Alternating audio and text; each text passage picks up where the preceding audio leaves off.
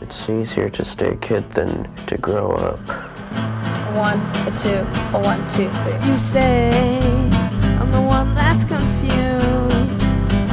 You're the one playing mind games by yourself in a room. Did you see what I'm doing? I'm moving something, stopping, taking a picture. Stop motion. You're gonna say hands out before you push the button. Say hands out. Hands out. I'm trying to convince them to say that I'm not as bad as a person as they think I am. Yeah.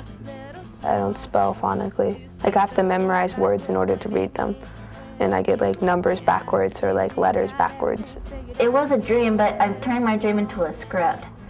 It's a one-week camp where the kids make an animated cartoon, a claymation movie, and then we do in-camera special effects on the last day and we shoot a silent film. There's more creativity, I think, in this room today than you'll see at any of the major boardrooms in the studios. You say I'm the one that's confused. You're the one playing mind games by yourself in a room. My sister is a guitarist and all that, so mostly I just don't want it, uh, I don't like to sing her. I don't like I don't like that to her hear her sing because it's not that good in my opinion. But I think that's okay. Brad Kopanek was a working actor before becoming a nationally recognized educator. For the first time in his career at this camp, all of Brad's students are autistic. Hands. I told Jonathan that actually what he had was something called Asperger's syndrome, and he's, his eyes got real big and he says, Asperger's? I have Asperger's. The acting classes actually force children with autism out of their comfort zones. By playing the role, he is forced to take on these characteristics and portray them convincingly. I think the most difficult moment is to see him not know how to play with other children. Just because we're splitting up movies doesn't mean we have to split up friendship. When she was about two and a half or three, she would start putting puzzles together. She'd look at them one time, and all of a sudden she'd put them together really quickly. Was it something we did? Was it something that was in the environment? Was genetic?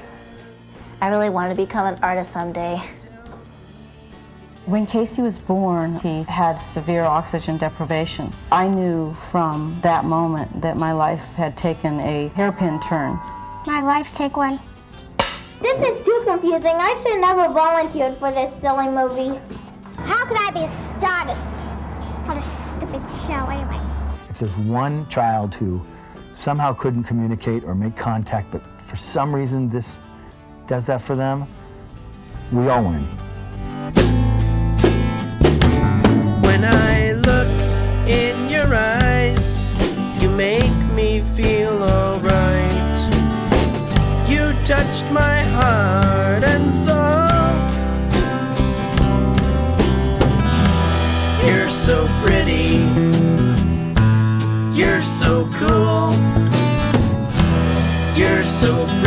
That you make me play a